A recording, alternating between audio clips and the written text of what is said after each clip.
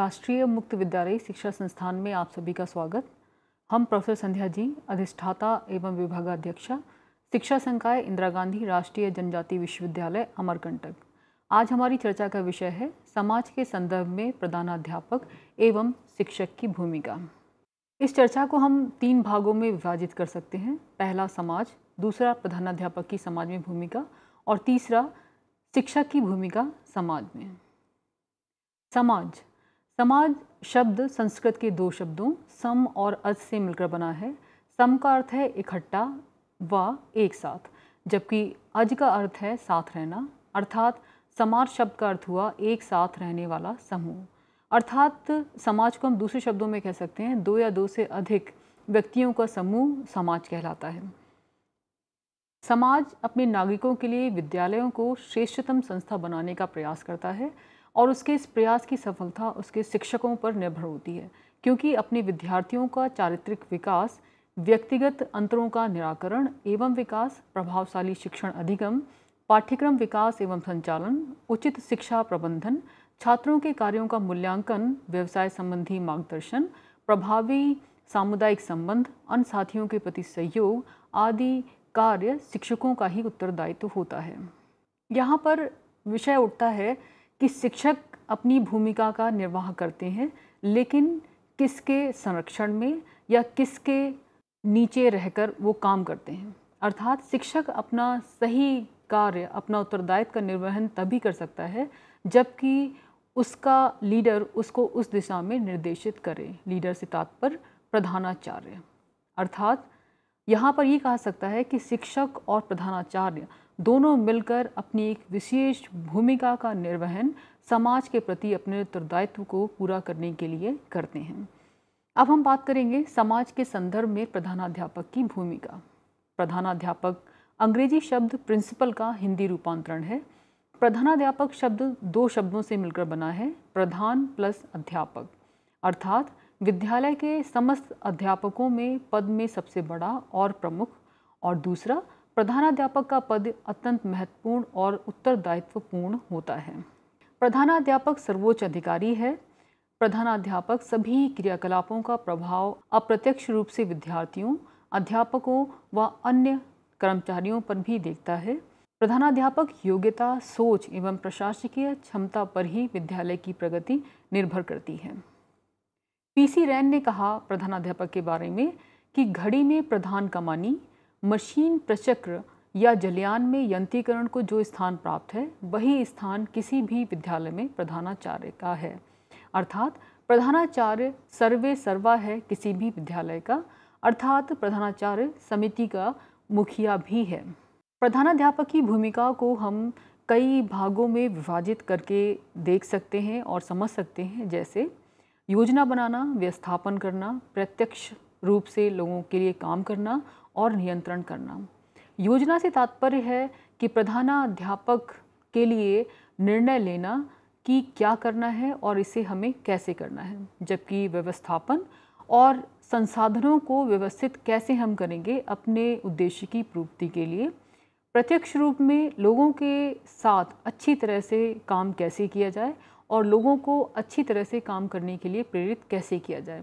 इसके साथ साथ कि जो भी प्रदर्शन है विद्यालय समाज का एक अंग है और इस विद्यालय के अंदर में जो भी प्रदर्शन के रूप में जो भी गतिविधियाँ लोगों के सामने आती हैं, उसके पीछे जो लागत है, उसके मापन का कार्य भी प्रधानाध्यापक की भूमिका के अंतर्गत आता है।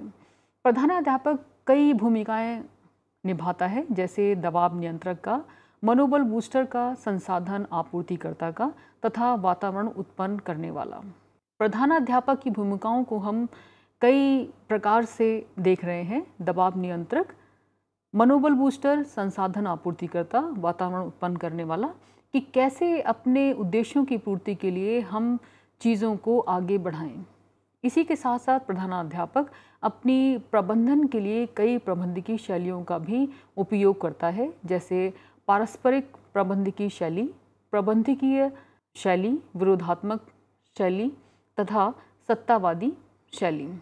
विद्यालय में कई कार्य होते हैं और उन कार्यों को लिए कई प्रकार के निर्णय भी लिए जाते हैं, जिसके अंतर्गत शामिल होना, समझौता करना, वार्ता करना, व्यापारगत धमकी, दबाव और निसंदेह व्यापार जैसी गतिविधियाँ आती हैं। प्रधानाध्यापक की कुछ सामान्य भूमिकाओं के अलावा कुछ महत्वपूर्ण भूमिकाएँ भी हैं, जैसे निर्देशक उत्कृष्टता को प्रोत्साहित करना कि कैसे प्रधानाध्यापक एक निर्देशक के रूप में अपनी उत्कृष्टता को प्रोत्साहित करेगा। कक्षा में उसे जाना है और जाना चाहिए। शिक्षण चिंताओं के बारे में शिक्षकों के साथ में बात करें। कार्यक्रम का समीक्षा और उसका पुनरुद्धार कैसे किया जाए, उसके बारे में भी चर्चा शुरू करें और विद्यालय के जीवन में उसकी सक्रिय भागीदारी होती है। एक प्रधानाध्यापक होने के नाते प्रधानाध्यापक को समय समय पर कक्षा में जाना चाहिए, जिसके आधार पर वो विद्यार्थियों में फैली हुई अराजकता या ऐसा कोई असंतुलन जिसका, जिसके संतुलन में कोई बाधा पड़ रही है और साथ में विद्यार्थियों को शिक्षण विधि और प्रविधि को लेकर कोई दिक्कत या परेशानी तो नहीं है, इस आधार पर प्रधानाध्यापक ये भी भूमिका निभाता है। और अपने साथ ही शिक्षकों के साथ में जो शिक्षण चिंताएँ हैं आज के नवाचार के युग में कैसे हम शिक्षण विधियों और प्रविधियों का इस्तेमाल करके बाल केंद्रित क्रियाओं को प्रोत्साहित करें, इन सब बातों के ऊपर प्रधानाध्यापक को समय समय पर अपने शिक्षकों के साथ बात करनी चाहिए। कोई भी कार्यक्रम अगर हमें आयोजित करना है, प्रायोजित करना है तो उस कार्यक्रम की समीक्षा और उसके अंदर हम कैसे सुधार कर सकते हैं, ये काम भी प्रधानाध्यापक का ही है। साथ में प्रधानाध्यापक की विद्यालय जीवन में सक्रिय भागीदारी होती है। यानी कि प्रधानाध्यापक की एक विशेष भूमिका है अपनी चीज़ों को विद्यालय के रूप में निभाने के लिए। प्रधानाध्यापक अलग अलग तरीके से अध्यक्ष होता है, जैसे कि पारस्परिक अध्यक्ष, प्रबंधकीय अध्यक्ष तथा प्रतिकूल अध्यक्ष। हम बात करते हैं पारस्परिक अध्यक्ष की। मुख्य रूप से आमने सामने संपर्क पर भरोसा करना और व्यक्तिगत संबंधों और उसके साथ में अपनी भूमिका को पूरा करना। यहाँ पर हमें समझ में आता है कि जो पारस्परिक अध्यक्ष के रूप में प्रधानाध्यापक की भूमिका है, वो विशेषतः व्यक्तियों के बीच में जो संबंध है और उस संबंधों को आगे बढ़ाने में प्रधानाध्यापक की भूमिका क्या होगी, इस कार्य को अगर प्रधानाचार्य करता है तो हम ये कहते हैं कि वो पारस्परिक अध्यक्ष की भूमिका का निर्वहन कर रहा है। प्रबंधकीय अध्यक्ष से तात्पर्य है, हम समितियों, ज्ञापन और औपचारिक प्रक्रियाओं के लिए प्रमुख सहारा बने। इसी प्रकार, प्रतिकूल अध्यक्ष से तात्पर्य है, नियंत्रण बनाए रखने के लिए तर्क और टकराव को पसंद करना। कभी कभी प्रधानाध्यापक को प्रतिकूल अध्यक्ष के रूप में भी सामना आना पड़ता है, जिससे कि वो परिस्थितियों के ऊपर नियंत्रण बनाए रखे और तर्क और टकराव के बीच में एक नया रास्ता निकालें, जो कि विद्यालय की प्रगति के लिए आवश्यक हो।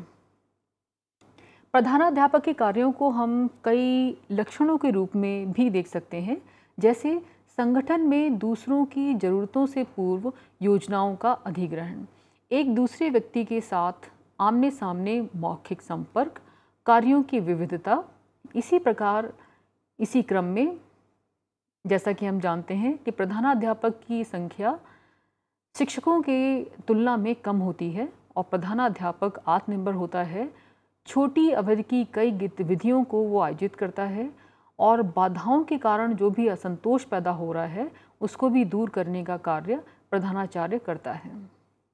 प्रधानाचार्य के कार्यों का लक्षणों को हम और आगे बढ़ा सकते हैं, जैसे कि प्रधानाध्यापक एक साझा भाषा स्थापित करे, चल रहे संचार, अनुसंधान और पेशेवर बातचीत के लिए एक प्रक्रिया, एक अत्यधिक सहभागिता, प्रशासन संरचना, जिसमें सभी सदस्यों को शामिल किया जाए और परिवर्तन की प्रक्रिया का समर्थन करने के लिए शैक्षिक प्रणाली के महत्वपूर्ण अन्य हिस्सों की भागीदारी शामिल होनी चाहिए। अर्थात, प्रधानाध्यापक एक साझा स्थापित करता है और नए अनुसंधान और पेशेवर बातचीत को बढ़ावा देता है और ये सहभागिता, प्रशासनिक जो संरचना है, उसके अंतर्गत सभी सदस्यों को शामिल करती है। इसके साथ साथ प्रधानाध्यापक टीम बिल्डिंग रणनीति को लेकर आगे चलता है। टीम बिल्डिंग रणनीति से तात्पर्य है कि जो भी बैठकें हो रही हैं, उनको प्रधानाचार्य सही से संगठित करें, अर्थात संगठित बैठकों का आयोजन करें। विभाग और संकाय जिम्मेदारियों को साझा करें, नियमित सामाजिक घटनाओं पर चर्चा करें, जानकारी, अनुभव और विशेषज्ञता साझा करने की उसमें इच्छा होनी चाहिए। ऐसा होने से प्रधानाध्यापक अपने विद्यालय में टीम बिल्डिंग को बढ़ावा दे सकता है। विभाग का अस्तित्व और संकाय और कार्यालयों के बीच लोग कैसे अपना कार्य कर रहे हैं, जिससे कि विभाग का अस्तित्व बचा रहे और संकाय का जो क्रियाकलाप है, वो सुचारू रूप से चल सके। ऐसा करने के लिए प्रधानाध्यापक को टीम बिल्डिंग रणनीति की आवश्यकता होती है। प्रधानाध्यापक की कुछ और भूमिकाएँ और जिम्मेदारियाँ हैं, जैसे एक निर्देशक के रूप में नेतृत्व प्रदान करना, संसाधन बजट आवंटित करना, कर्मचारियों के बीच को, बीच के सहयोग को प्रोत्साहित करना। इस प्रकार हम समझ पा रहे हैं कि प्रधानाध्यापक एक को एक कुशल नेतृत्व प्रदान करने वाला निर्देशक होना चाहिए, बजट आवंटित करना उसे आना चाहिए, और कर्मचारियों के बीच में सहयोग की भावना को वो कैसे प्रोत्साहित करे, उसे यह भी जानना आवश्यक है। और ऐसी सभी जिम्मेदारियाँ प्रधानाध्यापक बखूबी निभाते हैं।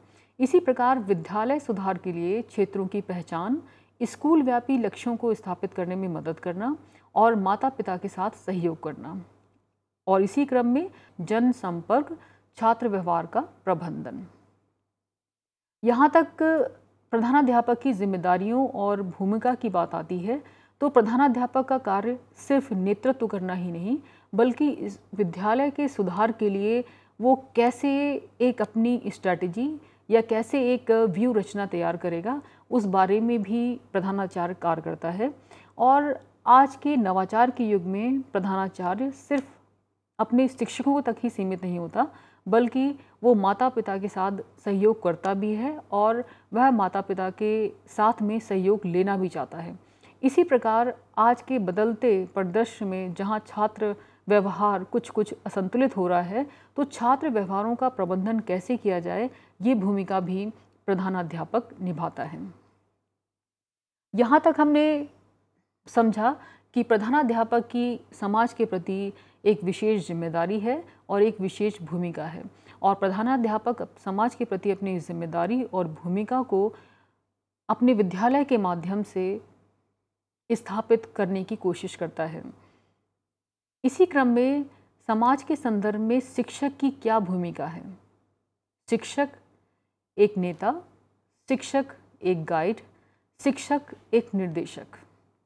और शिक्षक के कई कर्तव्य जैसे कक्षा को व्यवस्थित करना, पाठ योजना को लिखना और लिखित पाठ योजना के आधार पर छात्रों को निर्देशन प्रदान करना। इसी प्रकार पाठ्यचर्या विकास और कार्यान्वयन के संदर्भ में अन्य कर्मचारियों के साथ सहयोग और माता पिता के साथ में बातचीत।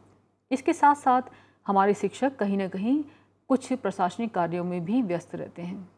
आज का जो बदलता परिदृश्य है, उसमें बहुत ज़रूरी बात यह है कि एक शिक्षक होने के नाते हमारा कर्तव्य है कि हम बच्चे को पढ़ाने के साथ साथ उसके माता पिता के साथ भी बातचीत करें और ये जानने का प्रयास करें कि इस बदलते परिदृश्य के अनुसार क्या बालक विद्यार्थी में कुछ ऐसा परिवर्तन तो नहीं आ रहा जिससे कि वह अपनी समस्याओं से सामंजस्य स्थापित नहीं कर पा रहा। इसीलिए यह ज़रूरी है कि शिक्षक अपनी भूमिका, अपने दायित्व को सुचारू रूप से संभाल कर आगे चले और पढ़ाने के साथ साथ वह माता पिता के साथ भी एक बातचीत की प्रक्रिया को जारी रखें। शिक्षक, शिक्षा और छात्र के जीवन में भी एक महत्वपूर्ण भूमिका निभाता है। अगर हम शिक्षण की बात करते हैं तो हमें पता लगता है कि शिक्षक, शिक्षा और छात्र ये तीनों मिलकर किसी भी शिक्षण प्रक्रिया को पूरा करते हैं। शिक्षक कौन बन सकता है?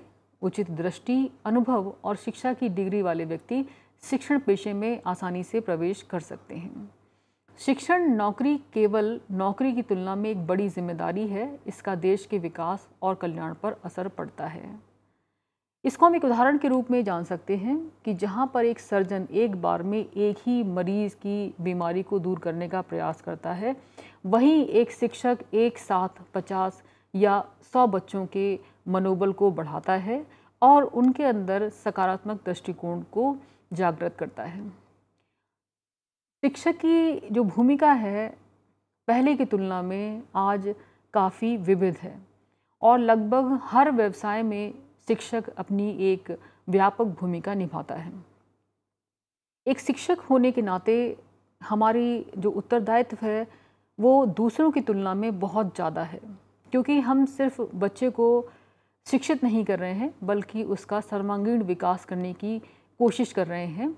और इस सर्वांगीण विकास की कोशिश करने से तात्पर्य है कि हम शिक्षण के माध्यम से एक संभ्रांत भारतीय नागरिक का निर्माण कर रहे हैं। और इसीलिए शिक्षक को टॉर्च बियरर भी कहा गया है। शिक्षक एक ऐसा दीप है जो कि हज़ारों दीपक को एक साथ जलाने का कार्य करता है। अर्थात एक शिक्षक शिक्षक एक दीपक है और ये दीपक अपने जैसे कई दीपकों को आगे बढ़ाने का कार्य करता है, जो कि राष्ट्र के निर्माण में अपनी विशेष भूमिका का निर्वहन करते हैं। जब हम कोई भी शिक्षण प्रक्रिया से गुज़रते हैं तो उसके बाद में हमारे अंदर एक पेशेवर क्षमता का विकास होता है। और यह पेशेवर क्षमता का विकास हम अपने शिक्षक के माध्यम से ही ग्रहण कर पाते हैं। एक शिक्षक विद्यार्थियों को शिक्षा के माध्यम से जीवन में, व्यवहार में सच्चाई की शिक्षा देता है। विद्यार्थियों को जो भी कठिनाई होती है, जो भी जिज्ञासा होती है और वो जो भी जानने का प्रयास करते हैं, उन सब के लिए वे अपने शिक्षक पर ही निर्भर करते हैं। इसीलिए शिक्षक को ज्ञान का भंडार या नॉलेज ऑफ़ इंसाइक्लोपीडिया कहा गया है। इस प्रकार हम पाते हैं कि एक शिक्षक एक मार्गदर्शन के रूप में भी काम करता है और शिक्षक के मार्गदर्शन में प्रत्येक व्यक्ति, बालक, शिक्षा को उसके वास्तविक अर्थ में ग्रहण कर मानवीय गतिविधियों को प्रत्येक क्षेत्र में उसका प्रचार और प्रसार करता है। अर्थात समाज के संदर्भ में शिक्षक की एक विशेष भूमिका है और शिक्षक की यह भूमिका ही व्यक्ति को मानवीय गतिविधियों में प्रचार और प्रसार का मौका और अवसर प्रदान करती है। इस प्रकार हमने समाज के संदर्भ में प्रधानाध्यापक एवं शिक्षक की भूमिका को जानकर यह समझने का प्रयास किया कि प्रधानाध्यापक और शिक्षक दोनों ही समाज में एक विशेष भूमिका का निर्वहन करते हैं, जहाँ पर प्रधानाध्यापक की भूमिका एक विद्यालय में सर्वोपरि है, सर्वोच्च है, वहीं एक शिक्षक, एक कैटलिस्ट की तरह कार्य करता है, जिससे कि वो समाज के लिए भावी नागरिकों का निर्माण कर सके और ऐसे भावी नागरिक जिनके अंदर राष्ट्र प्रेम हो, राष्ट्रीय भावना हो और भारतीय मूल्य हो। इस प्रकार इन तीनों चीज़ों को संगठित करके जो विद्यार्थी हमें प्राप्त होता है, उसमें कोई भी शक नहीं किया जा सकता कि वो हमारे समाज और वो हमारे देश के लिए अपनी भूमिका का निर्वहन पूरी ज़िम्मेदारी के साथ में करेगा। हम आशा करते हैं कि आप सभी ने इस प्रकरण के माध्यम से प्रधानाध्यापक और शिक्षक की भूमिका को अच्छी तरीके से समझ लिया होगा। धन्यवाद।